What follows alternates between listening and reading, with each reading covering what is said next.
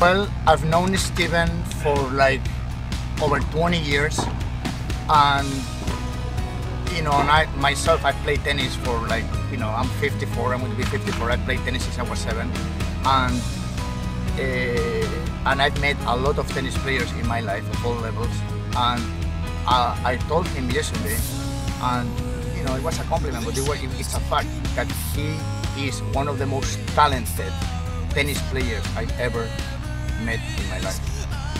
But not, not, not because of tennis, the way he hits, he understands tennis in a very high level, in a very hard form. And he has a feeling. And you know, it's hard to, for the, it's not easy to see if you don't have the trained eye to see. You know, but you know, he's, he's special. It's the way he plays and the way he, he understands the game. So, Steven,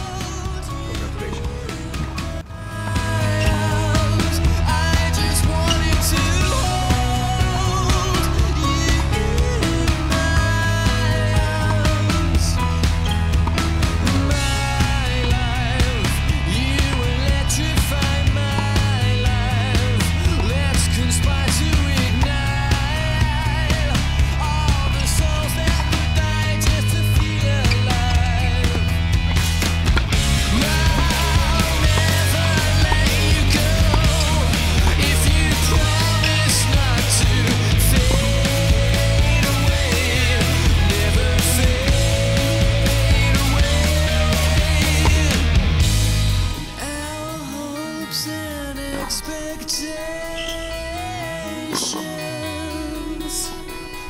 black holes and revelations. Give them rhythm. Rhythm. How do you give rhythm when you hit the same ball all the time?